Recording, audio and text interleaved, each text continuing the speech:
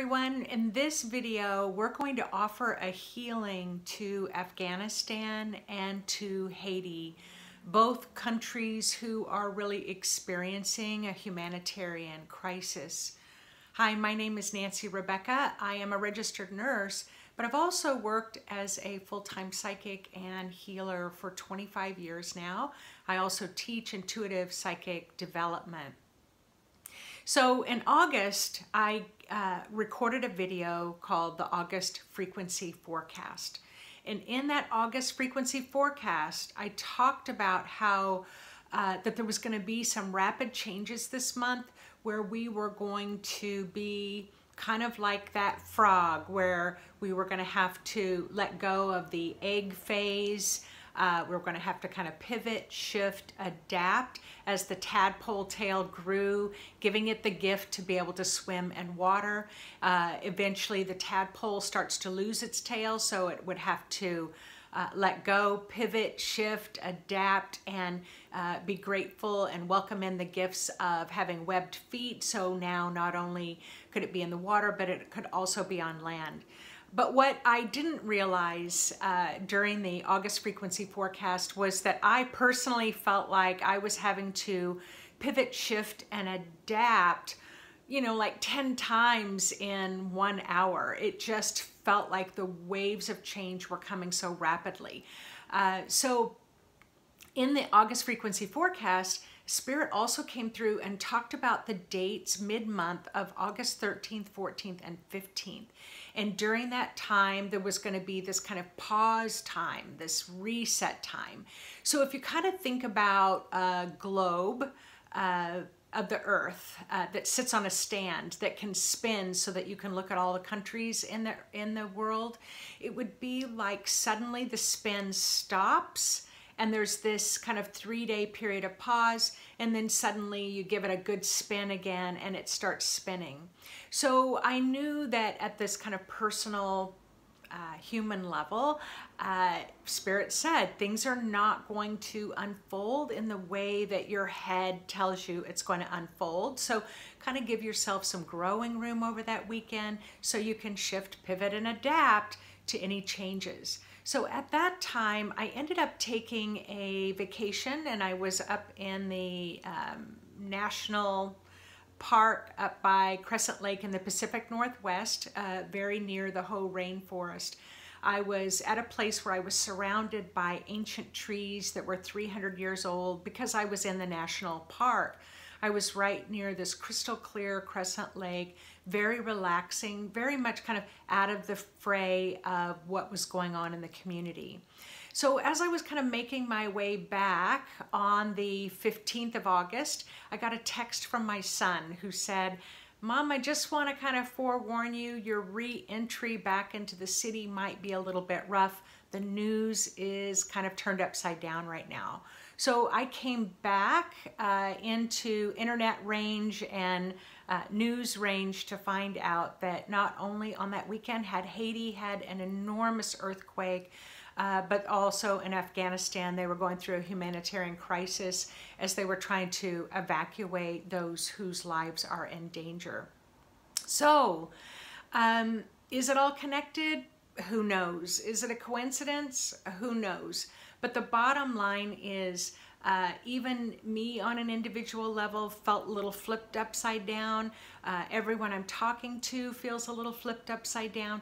So when that's happening, you really want to be able to ground strongly. So if you'd like a link on a grounding meditation, just visit my website at intuitivemind.org click on uh, free stuff and uh, you'll be able to see the different meditations that are available for you to upload and to be able to kind of listen to me voice guide you through a meditation. So in this video, I'm going to kind of teach you a technique on how to do a healing for Afghanistan and for Haiti, but you can apply this technique to anything. So I want to tell you a little bit of a story first about an experience because I've been doing this for 25 years, healing properties, healing lands, healing buildings, healing people, healing pets, um, anything to help shift energy. I have lots of experience of kind of seeing the outcomes of these. So there was a particular restaurant here in Tacoma, they were having a lot of, uh, we'll just say, energetic disturbance. Uh, chairs falling over, ch uh, tables kind of moving across the room, alcohol bottles kind of falling off the shelf. So they had called uh, called me and asked if I could come kind of take a look at the energy. And so I brought a team of uh, uh, some of the healers with me. And so we offered a healing. And I'm, I'm not going to get into that story. Maybe that's something that I'll share at another time. Uh, that was really cool and what we discovered and um, but once we did the healing and once the energy in the building had settled and it was kind of attached to two other businesses. It was like one big square on a corner. They had a restaurant, they had a barber shop, they had a coffee shop, and uh, maybe something else. And then around that building were other kind of abandoned buildings that were kind of um, in disrepair. So what I said to the owner is, don't be surprised now that we have offered this healing that the businesses around you are going to start cleaning up their businesses. And I remember the man said, yeah, right. Okay, whatever. anyway, he called me the next day and he was kind of freaked out and he said, oh my gosh, one of the uh, abandoned buildings, the owners showed up and they started pulling the broken glass out of the windows, replacing it with uh, repaired windows. There was somebody else who uh, brought paint and started painting and he actually went over and said, wow, how long have you planned on painting this? And the owner said, no, I just woke up this morning and realized I have all this extra cans of paint so I thought that I would just come over and paint the building and then somebody else around them started replacing their roof. So uh, all these three events happened within just a couple of days of that building getting a healing. So the reason why I share that story with you is it's just one small story of many stories that I have where when you offer to kind of uplift, offer healing energy to an area, it impacts the whole area and people are inspired to want to do more kind of positive, uplifting, wholesome, healthy choices that may have kind of been stuck in stuck energy before. So how do you do this? How do I do this? So once I came back to my home on the 15th of August, um, was able to kind of catch up with the news of what was happening in Haiti with their earthquake. And you know, they never fully recovered from the last earthquake and it's already a poor country. And there's a lot of uh, kind of political reasons that, that lead up to their poverty state. Um, and so we don't really need to get into all of those reasons. It's the same with Afghanistan. Uh, it is an ancient, ancient, ancient country that has an ancient history uh, that goes back thousands of years.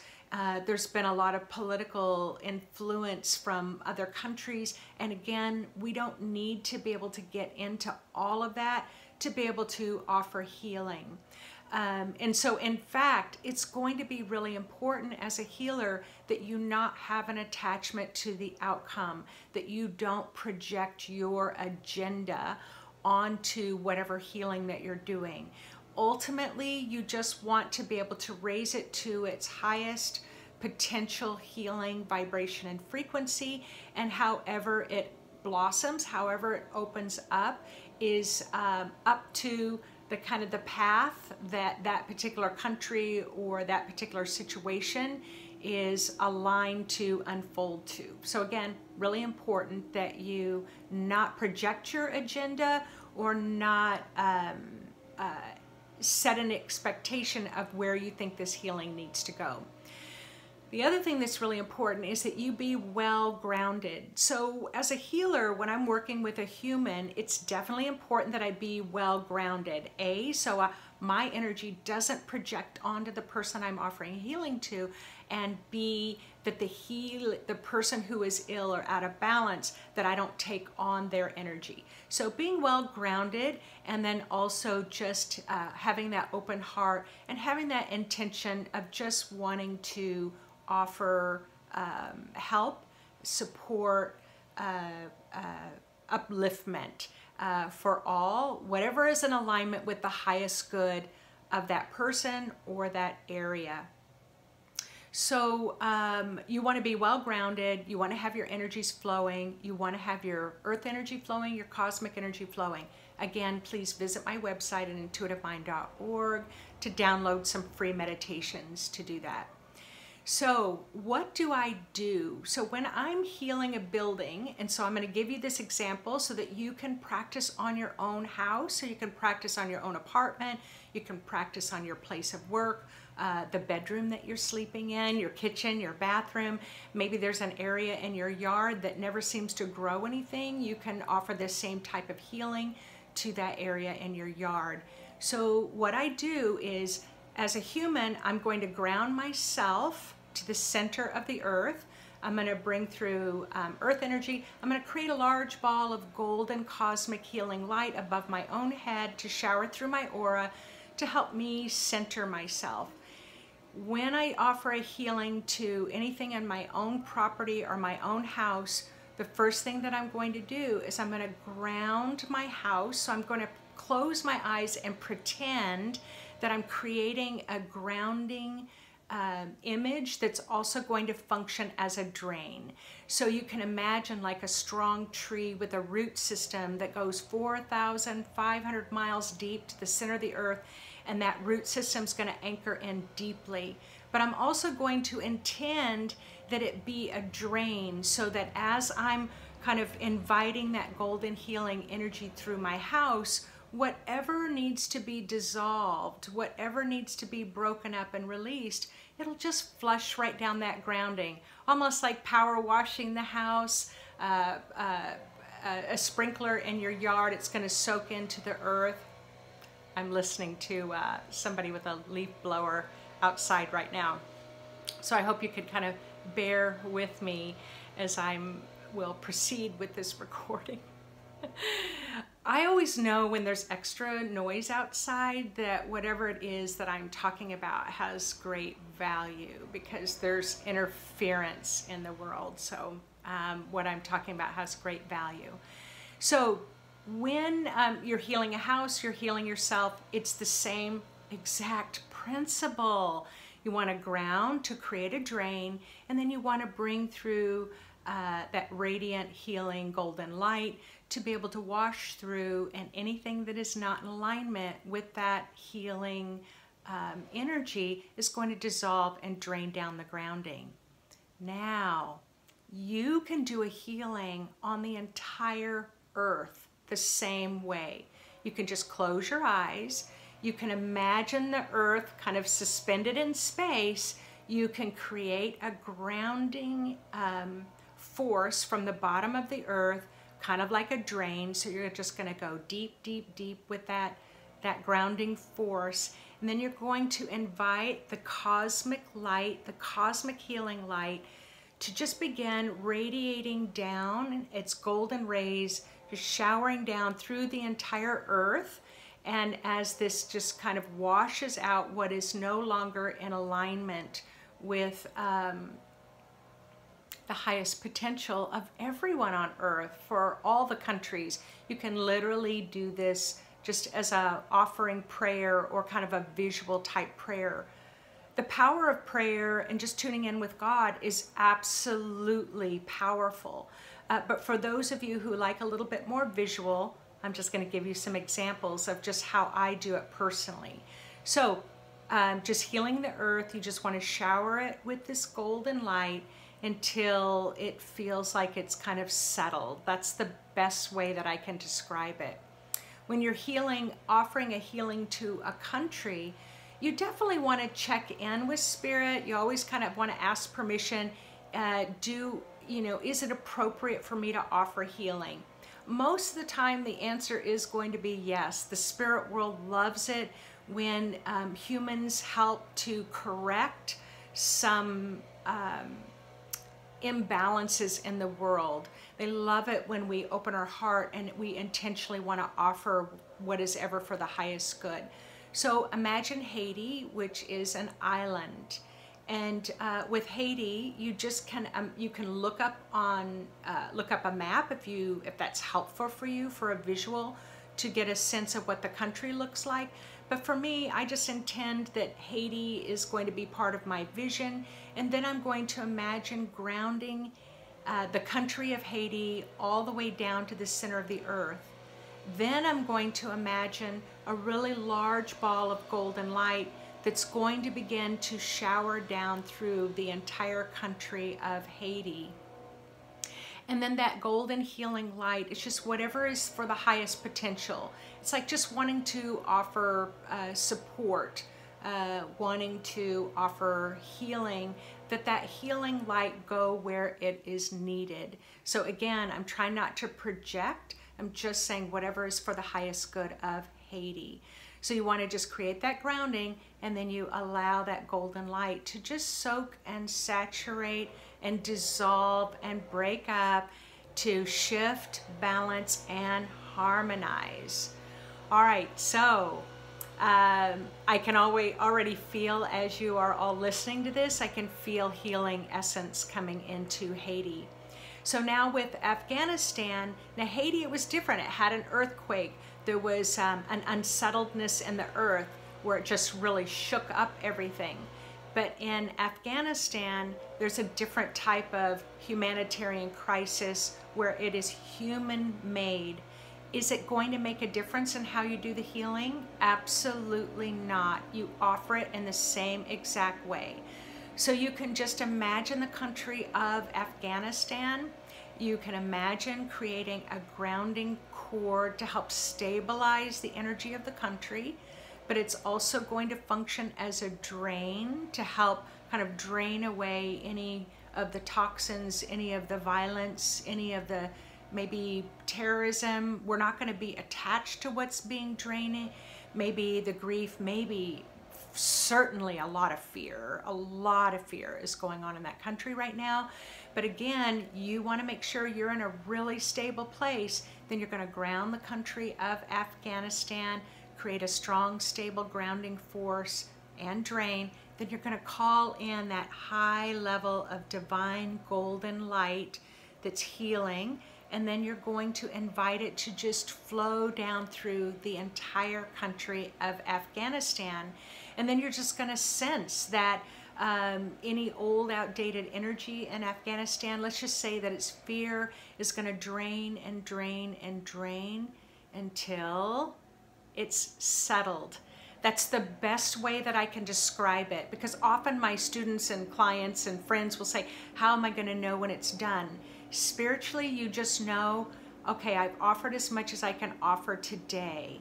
Um, and then you want to check in after you offer these healings to Afghanistan or to Haiti or maybe to, I know in the United States we're having some floods, um, so you can offer it to those areas as well.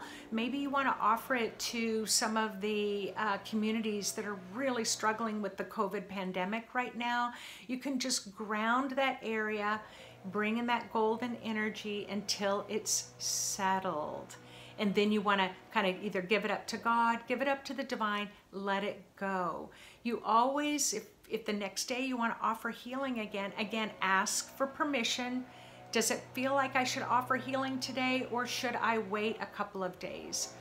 So, what I believe, what I know to be a truth for me, just based on the experiences that I've had the past few years, is that together with that healing presence, as we come together, we can truly shift the planet. We can shift and balance and harmonize those energies and it draws other people in to want to also offer healing, offer upliftment. They feel compelled and they don't even know why they feel compelled. But it's just because the energy vibration and frequency is at a higher frequency so that we've got that potential to really kind of move through these hardships and this this deep heart aching suffering that the world is going through right now. So I had a whole different agenda that I was going to talk about today on this Tuesday release of this video. Spirit came through really strong and said we need everyone to offer healings to different areas of the earth, but especially to Haiti and Afghanistan right now. As you heal them, you are healed. As you heal yourself, others are healed. We are stronger always together than we ever have been apart. So I so appreciate you all joining in. I would love if you offer healing to make a comment about what your experience or experiences has been, especially if you offer healing to those two places or maybe offer healing to other places as well, or even your own house. I look forward to kind of hearing what your experiences are. So I will be signing out now, but if you like this video and other videos that I've made, please click the subscribe button. Also click the little bell. And uh, just a couple of other announcements. We only have a few days left of my Intuitive Mind Home Study Program special. Go to my website, click on Home Study. You'll see that special there. August 31st, that special is expiring. Uh, we also, at the end of the week, we have a psychic showcase that's coming up on Sunday, and we have a webinar, What's Your Intuitive Style, coming up in September. So just visit my website. You'll see all those specials. Sign up for everything. We're going to have a lot of fun as we heal this world together. All right, take care, everyone. Have an awesome, awesome rest of the month.